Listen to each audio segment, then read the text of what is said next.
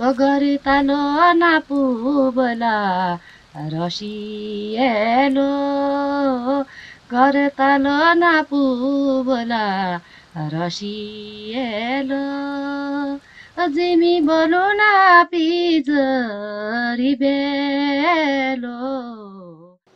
और हाँ मित्रों, इस चैनल को सब्सक्राइब करना ना भूलें और घंटी के चिन्ह को स्पर्श करें ताकि नए प्रस्तुतियों के प्रसारण की जानकारी आप तक अविलंब पहुँचती रहे। तो आज हम जिस होम स्टे में रुके हुए हैं, उसके सामने एक लोकेशन ये पड़ती है, आउटडोर। तो यहाँ हम मटन कुक करने वाले हैं। और ये जो मटन हम बना रहे हैं, यहाँ का एक ट्रेडिशनल कुकवेयर होता है, जो बर्तन होता है बनाने का, जिसे बोलते हैं भड्डू। और ये जो भड्डू है ये ब्रॉन्ज़ यानी कांसे का बना हुआ बर्तन है और बहुत भारी होता है। तो भारी होने के वजह से जो देर इसको गर्म होने में समय लगता है, लेकिन एक बार गर्म होने के बाद धीमी आँच पे इसमें चीज़ें पकाई जाती हैं।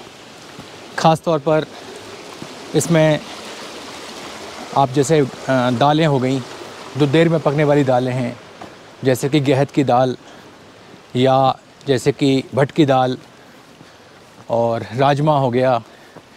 इस तरह की चीज़ों के लिए बहुत ही अच्छा यहाँ से हमें जाना था। हाँ।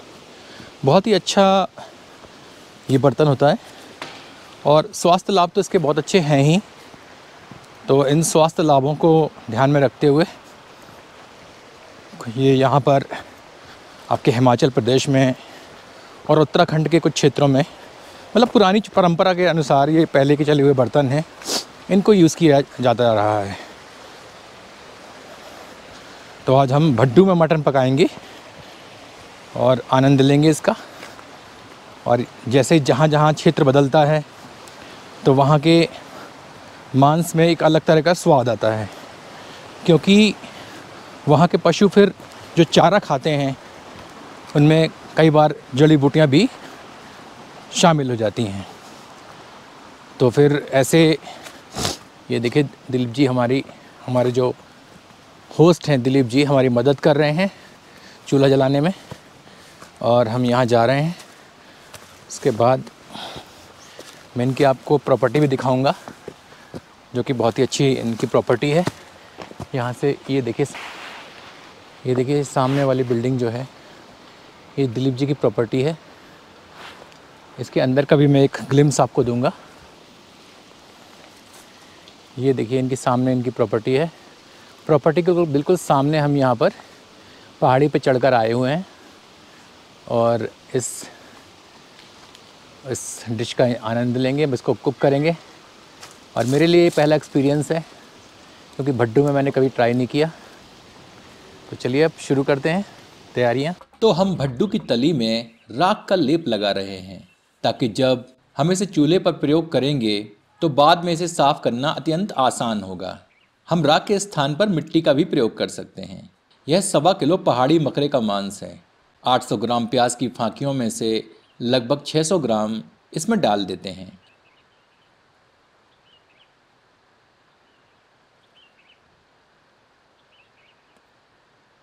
बाकी प्याज को एक तरफ़ रख लेते हैं। इसमें दो टुकड़ा दालचीनी, दो बड़ी इलायची सात से आठ साबुत लाल मिर्चों को तोड़कर सम्मिलित करते हैं।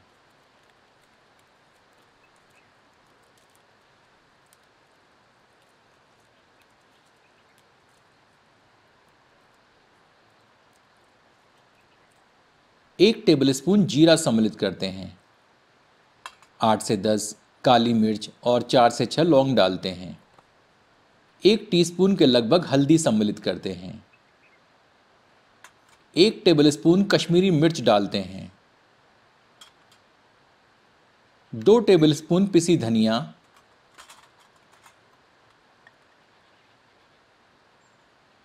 डेढ़ टेबलस्पून गरम मसाला। एक टेबलस्पून पिसा जीरा इसमें सम्मिलित करते हैं। इसमें दो से तीन तेज पत्ता डालते हैं। स्वादानुसार नमक डालते हैं।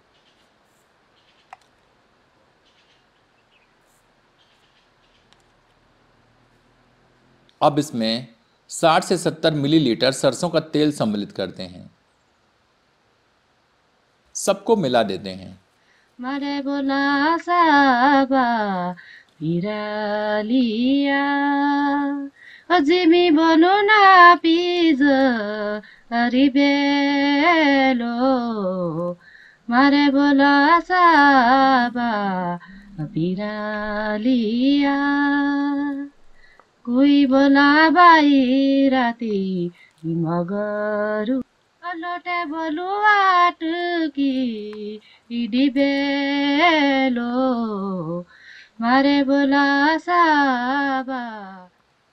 अब भड्डू की तली में थोड़ा तेल डालते हैं।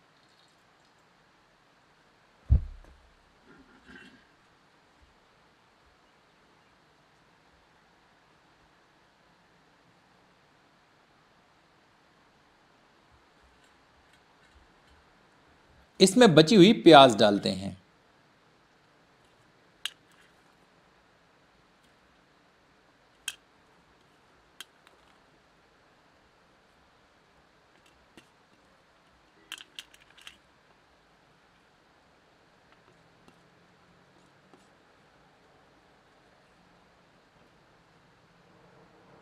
थोड़ा सा नमक सम्मिलित करते हैं। अब मसालों युक्त बकरे का मांस भड्डू में भर देते हैं। लोटे बलुआ टुकी बेलो, मारे बोला साबा हिरालिया लोक गोलोका बोला लोका राती, गाबरुलो। लोकातिलो लोकारा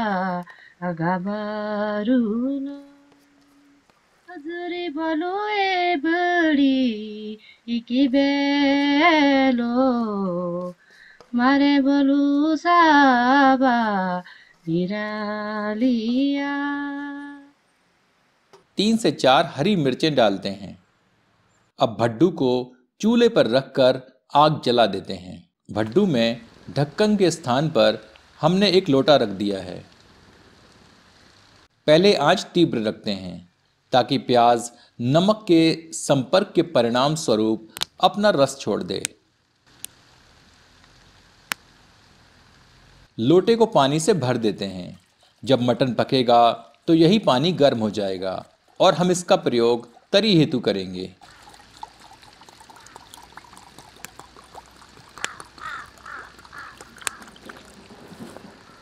छः से सात मिनट पकाने के उपरांत लोटा हटाकर करछी चलाते हैं।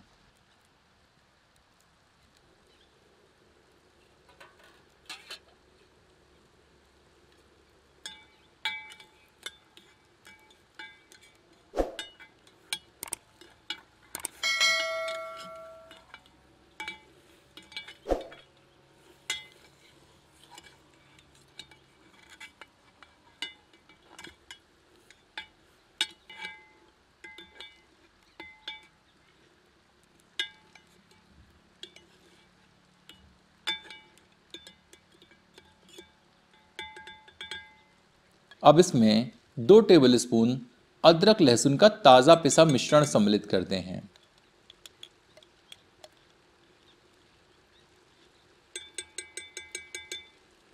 पुनः मिला देते हैं।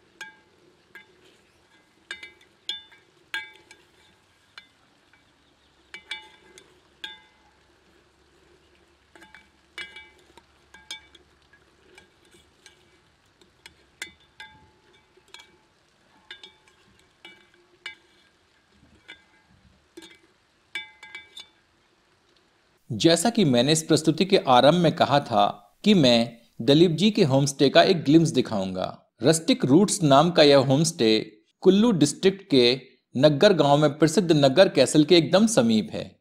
यहाँ से आपको बर्फ़ से घिरे पहाड़ दिखते हैं और बहते पानी की आवाज़ हर वक्त सुनाई देती है। दलीप जी एक बहुत ही अच्छे होस्ट हैं। यदि आप इस होमस्टे और दलीप जी की हॉस्पिटैलिटी का आनंद लेना चाहते हैं तो डिस्क्रिप्शन बॉक्स को चेक करें। आइए देखते हैं हमारा मटन कहाँ तक पहुँचा। अब इसे ढककर पंद्रह मिनट पकाते हैं। लकड़ियाँ कम करके आँच धीमी कर लेते हैं। अब हमें समय समय पर ढक्कन हटाकर करछी चलानी है। ऐसा हमें कम से कम चार से पाँच बार करना है।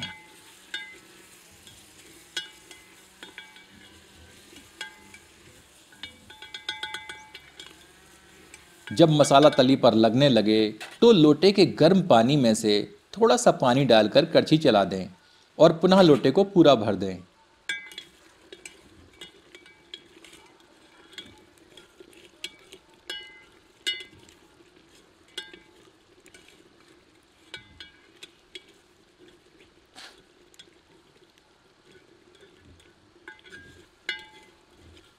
इसे भूनने में हमें लगभग 30 मिनट लगते हैं।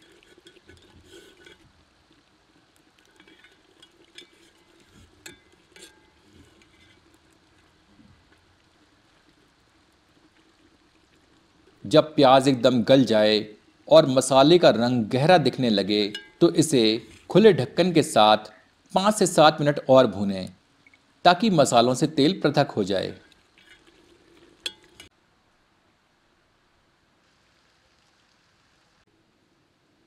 तदोपरांत मांस का परीक्षण करें।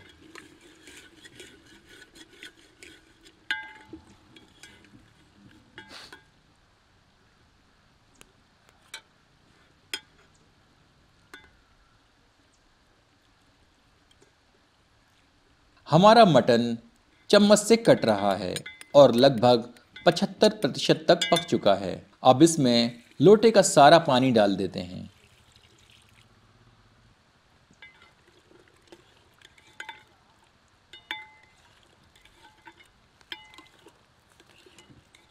एक बार करछी चलाते हैं और पुनः ढककर इसे 30 से 35 मिनट धीमी आँच पर पकाते हैं।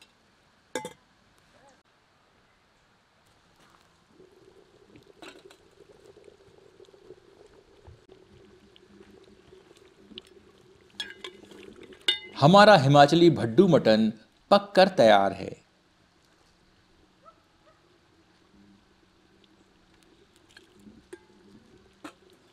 चलिए व्यंजन को पूरा करने के लिए थोड़ी हरी धनिया की पत्तियाँ काट लेते हैं।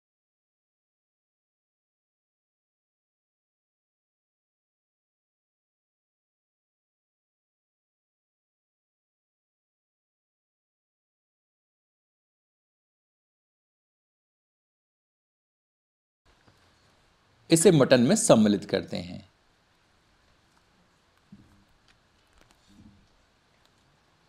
आपसे आग्रह है कि एक बार हिमाचली भड्डू मटन इस विधि से बनाकर अपना अनुभव हमसे साझा करें। चलिए इसे गर्मा गर्म परोसते हैं। इसका आनंद आप अपनी पसंद की रोटियों से उठाएँ। जरी बोलो ए बड़ी कि बेलो मारे बोलू साबा बिरालिया तिमी बोलू खाया देणे लालो जिमी बोलू खाया देणा लालो तुला बोलू टेकस कि बेलो। मारे बोलू साबा यदि आपको यह प्रस्तुति पसंद आई हो तो कृपया इसे अपनों के समक्ष साझा करें। धन्यवाद।